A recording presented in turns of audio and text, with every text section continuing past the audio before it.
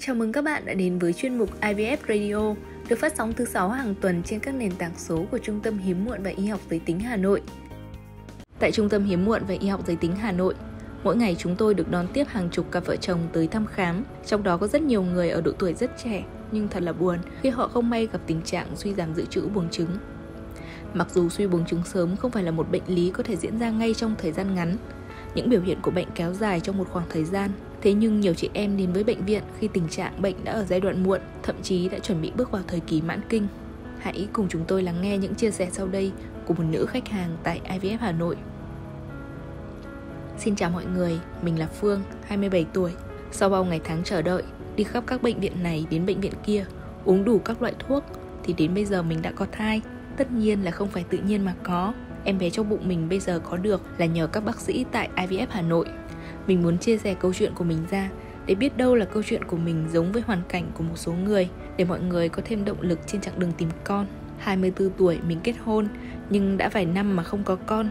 Sau khi vợ chồng mình đi thăm khám, các chỉ số xét nghiệm đều cho thấy tình trạng suy buồng trứng sớm rõ rệt. AMH của mình rất là thấp, chỉ số chỉ là 0.34 và hình ảnh siêu âm buồng trứng gần như không còn các nang trứng. Dự trữ buồng trứng của mình suy kiệt đến mức mà bác sĩ đã chỉ định mình xin trứng để làm IVF. Vì với tình trạng của mình thì gần như là không có trứng. Bên cạnh đó mình còn gặp tình trạng hai vòi trứng bị thông hạn chế. Và sau khi trao đổi với các bác sĩ, mình có một mong muốn nhỏ là các bác sĩ hãy cố gắng giúp mình có con từ chính trứng của mình. Nếu không thể có được con bằng trứng của bản thân thì mình sẽ xin trứng sau. Thực sự các bác sĩ tại đây rất giỏi khi mà kích trứng cho mình được 6 noãn, tạo được 3 phôi ngày năm. Bản thân mình cũng hiểu rõ với tình trạng bệnh của mình mà tạo được từng đó phôi đã là một con số đáng mơ ước. Mình chuyển hai phôi và đậu được một phôi. Ngày nghe tiếng tim thai của con, Cảm xúc vỡ hòa mọi người ạ. Mình cảm nhận được cảm giác Có một sinh linh đang từng ngày lớn lên trong bụng mình. Cảm nhận từng chuyển động của con Và mình gọi đó là hạnh phúc. Cầu chúc cho những ai đang gặp tình trạng giống mình Hay ở hoàn cảnh chưa có con, Hãy tin vào các bác sĩ và điều trị sớm Và điều trị sớm để đạt được hiệu quả tốt nhất. Chớ nên nghe chỗ này chỗ nọ, Rồi uống những thứ không đem lại hiệu quả Mà lãng phí tiền của giống mình trước đây. Câu chuyện của chị Phương cũng là hoàn cảnh của rất nhiều chị em ở độ tuổi 20-30 khi tới thăm khám ở các cơ sở y tế thì mới vỡ lẽ ra tình trạng sức khỏe sinh sản của bản thân. Và cho đến nay thì chưa có phương pháp nào có thể cải thiện khả năng sinh sản của phụ nữ bị suy buồng trứng. Khi buồng trứng của người phụ nữ quá yếu thì thuốc bổ hay là việc điều trị có thể không có tác dụng. Và theo một số thống kê, chỉ khoảng 5% số bệnh nhân suy buồng trứng mang thai mà không cần điều trị. Do đó các chị em nên tìm đến các trung tâm hỗ trợ sinh sản để được điều trị sớm không nên tin vào các phương pháp quảng bá thuốc bổ trứng, tăng cường trứng giúp sinh con tự nhiên mà bỏ lỡ thời gian vàng trong điều trị hiếm muộn.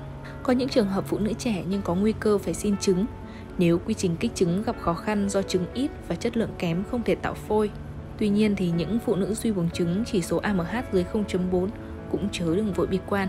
Bạn hoàn toàn có cơ hội làm mẹ nhưng phải có sự kiên trì vì dự trữ buồng trứng giảm thì số noãn và năng noãn thu được sẽ rất thấp. Với trường hợp chỉ số AMH dưới 0.4 bác sĩ sẽ dùng phác đồ kích thích buồng trứng, theo dõi chu kỳ tự nhiên để tiến hành chọc trứng tạo phôi, sau đó chuẩn bị niêm mạc thật tốt rồi tiến hành chuyển phôi, giúp người mẹ bị suy buồng trứng có thể sinh con từ noãn của chính mình.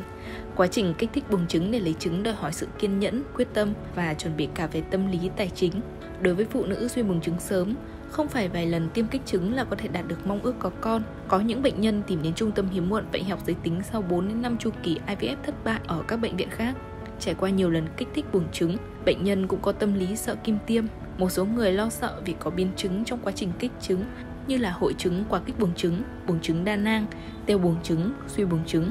Do đó, phụ nữ suy buồng trứng sớm nên đến các bệnh viện điều trị hiếm muộn, vô sinh có uy tín để được khám và tư vấn kỹ trước khi quyết định áp dụng phương pháp kích thích buồng trứng.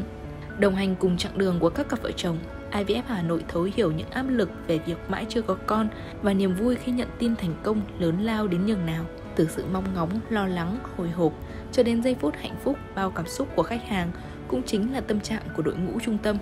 Chúng tôi mong rằng tất cả các gia đình điều trị tại trung tâm sẽ sớm đón tin con yêu trong thời gian gần nhất. Các cặp vợ chồng hãy luôn vững tin vào đội ngũ y bác sĩ. Hãy trang bị cho mình thật nhiều kiến thức để trên hành trình tìm con sẽ không lúng túng hoang mang. Và tới đây thì chúng tôi cũng phải nói lời chào tạm biệt tới mọi người. Xin hẹn gặp lại ở các số tiếp theo.